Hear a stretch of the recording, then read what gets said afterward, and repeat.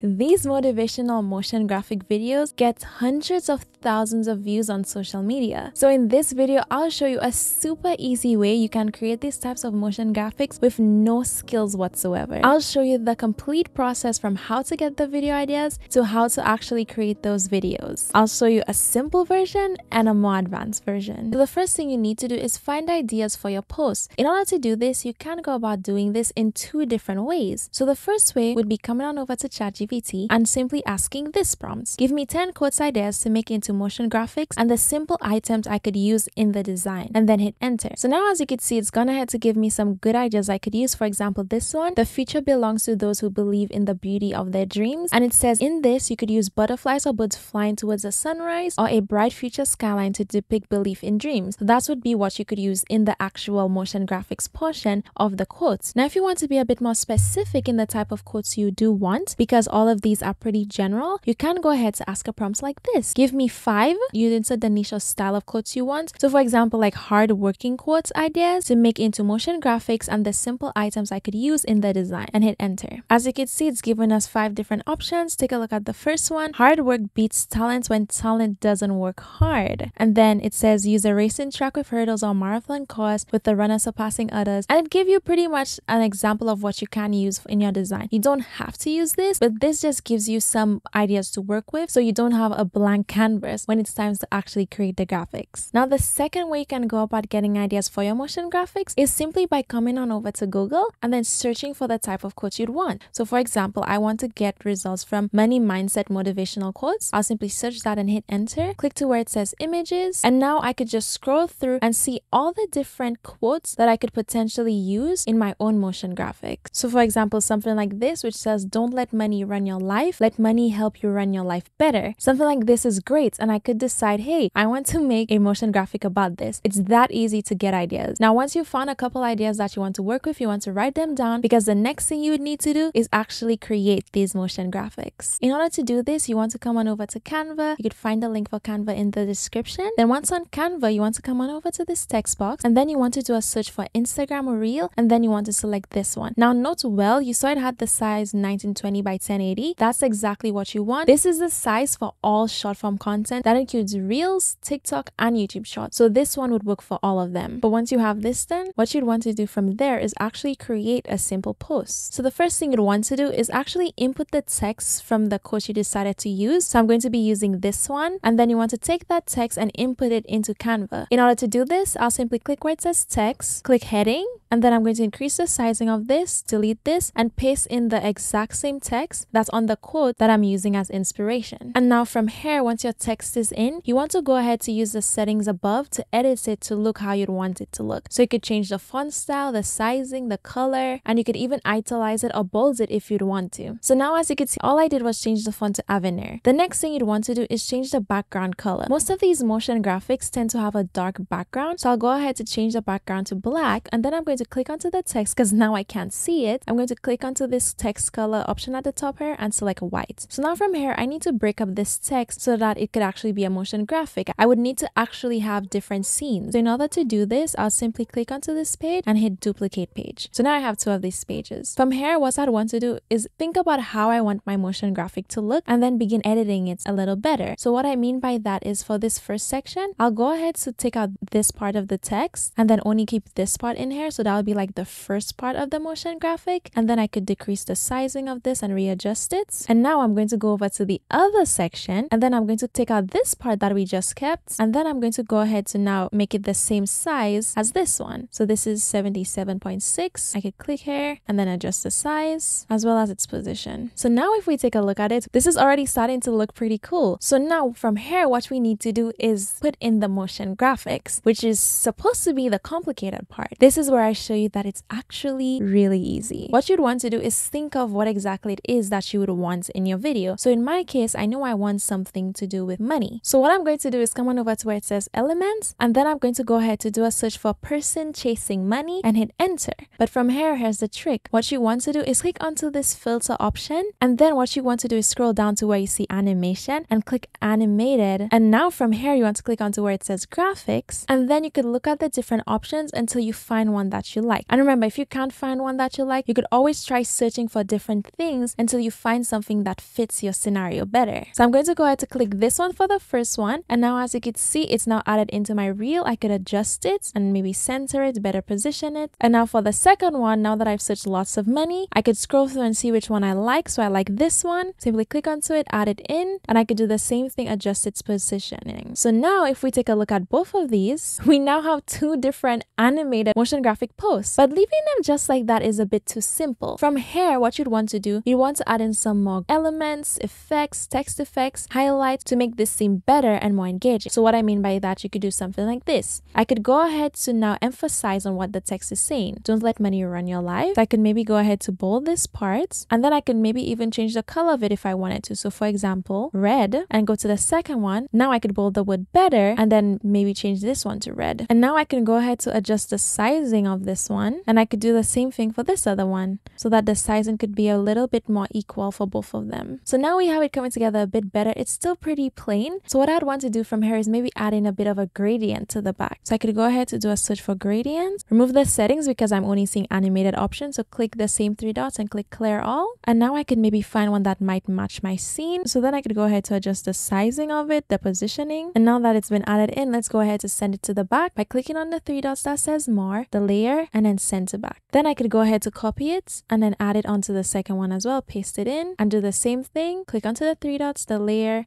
and then send to back. It seems a bit bright so we could reduce the transparency if we wanted. And now this is already looking way better from here. We can go ahead to add maybe for example a little bit more texture to it. So let's go ahead to search something like texture in elements and then click where it says graphics. And now we can see all the different textures and we could choose one of them to add to the post. So for example, this one, we can go ahead to expand it so that it fits the scene. Then we can go ahead to adjust the layering of it. So send it to back. And then if I wanted to, I could change the color of it. And that gives the post a little bit extra texture. So now I'll go ahead to copy the texture, come onto the other one, and then paste it in here and do the same thing. Then once you've edited your post enough, typically from here, what you want to do is add the at name of your Instagram page. So what you'd want to do is click where it says text, click again where it says add a heading, and then you can go ahead, just add your Instagram page's name and then change the color to white so it's visible. Then I'm simply going to put it at the bottom. I'll be sure to center it and align it so that it's on my page. Then I can go ahead to copy this, go to the next scene and paste it in. So now let's take a look at what this looks like. Don't let money run your life.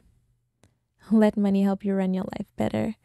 So easy and so good. And that barely took me any time to make this. Now I'll show you how you can create an even more advanced motion graphic that gives you the opportunity to be even more creative. So I could show you right here and right now. There's no excuse and no limit to what you can actually create with this. So for this one, the quote I'll be using is this. Each day is a new opportunity to improve yourself, take it and make the most of it. So using this quote, the first thing I'd want to do is same as before, I'd want to insert my text. And then from here, you want to do the same thing as before before, edit the text. So I'll go ahead to change the font style and same as before, I'll change the background from white to black. And then I need to change the text from black to white. And then I'm also going to reduce the line spacing as well as the letter spacing. Now I'm going to go ahead to duplicate this page. And then in this text box, I'm going to now go back to the quotes. I'm going to copy the next section, come back over to Canva. I'm going to delete this one and then paste this. So now we have another scene. And now for the last one, I'll do the same thing. I'll go ahead to duplicate this page as well. And then I'm I'm going to come back over to the quotes and then I'm going to copy the last section, come on back over to Canva, delete what's already there and paste this one in. So from here, what I need to do now is start adding in my motion graphic. So it's the same process. You need to think what it is that you would want in your scene. So in my case, I want this to be a motivational quote about working out, improving yourself in that sense. So what I would want is some sort of person. So I'll go on over to elements. I'm going to do a quick search for stick person. Then just as before, I'm going to go into the adjustment settings and click animated and then I'm going to see the options it's given us by clicking graphics and now I could see a bunch of different options I could use and to my benefit there's a bunch of different improvement ones that'll be perfect for my case scenario. So now from here I should begin just simply adding these into the graphic and creating the graphic I would want to create, right? Wrong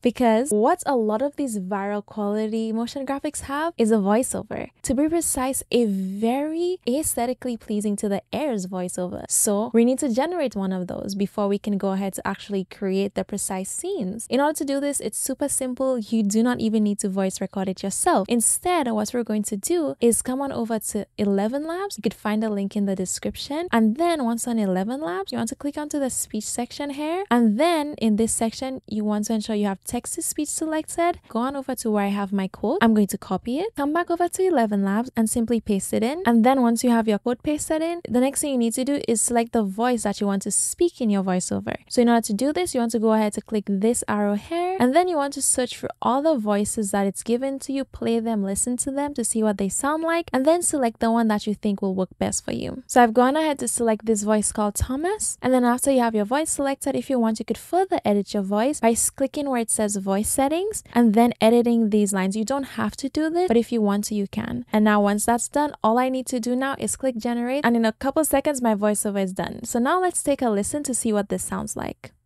Each day is a new opportunity to improve yourself. It's calm, it's collective. I think it will work perfect for just this aesthetic vibe that these quotes tend to give off. So once you have your voiceover ready, all you'd want to do is simply download it. Now once it's downloaded, you'd want to come on back over to Canva. You'd want to come on over to this upload section here, and then you'd want to click where it says upload files, and then you'd select this voiceover that you just downloaded from ElevenLabs. And now once the audio has been uploaded in, what you'd want to do is ensure your play button is at the beginning of your video. Then you'd simply want to click onto it. So now from here, you know how long your audio is, you can now know how long to adjust all of your clips to make them fit within the audio. Now you can begin adding the motion graphics into your actual video. So in order to do this, let's go back on over to elements. So I'll simply click onto this first one and then just add it into this section over here. But from here, what I want to do is show multiple different actions happening for the same text. So what I am going to do is now that I've had this added in, I'm simply going to click onto it and duplicate this page. And now from here, what I'm going to do is listen to the audio to see where I don't want to stop it to create the next scene. So after he says each day, I want to cut it to now add in this new one. So let's take a listen. Each day is that's it, each day. So I'm simply going to reduce this one to the length of each. What I'm going to do is now simply take another animated icon and add it in. So for example, this one, the push-ups one, then I'm simply going to click the previous one and delete it. Now you can see I have two different actions happening and I can continue doing it for the next section. So now that I'm done, I've added in all the different graphics into my scene. It's already a bit more advanced than the other one. From here, I can go ahead to edit it further just as I did with the other one by adding in some more items to the background. So that's texture, glows, gradients, whatever I think would look good into it. And then same as before, I can go ahead to add the art of my page at the bottom. And now I've added in the texture, I've added in my page, I've added in the graphics. So the next thing we want to do is further animate the actual graphics that's on the page. What I mean by that is simply click onto your first page and then click onto the graphic, for example, this one, and then click here where it says animate. And then what you can do is choose any of these animations, which will make you animate the animation even more. And then after I've animated the first one, I can go ahead to do the same for all of the posts. So now as you can see, I've added the animation breathe to all of the different text. So this is what it looks like. But from here, I could go to even further animate this by going between the page, clicking add transition, and then I'm going to go ahead to add in, for example, the line swipe, and then I'm going to click apply between all pages. And now the last thing I'd want to do is maybe change the boldness or different colors of different text to emphasize on different parts of this quote. And I'm done. So now let's take a look at what this one looks like. Each day is a new opportunity to improve yourself. Take it and make the most of it. Wasn't that easy? Wasn't that simple? When you're done with this, you need to download it. So in order to download it, you'll click where it says share and then you'll click download and then show an MP4 is selected. You're simply going to click download. And just like that, both of the motion graphics that you easily created in Canva will be downloaded to your computer and you can go ahead to post it on whichever social media platform that you prefer. Now that I showed you how to do this, you can be even more creative with your own posts. You can create your own quotes. You can be even more unique with your own motion graphics for your own page. So if this was something that you wanted to learn how to do, or it's just something that you now learned how to do from this video, go ahead to give it a try. But wait, wait, wait, don't click off yet, because if you want to learn more from me, which you probably should, then you need to check out this other video on my channel.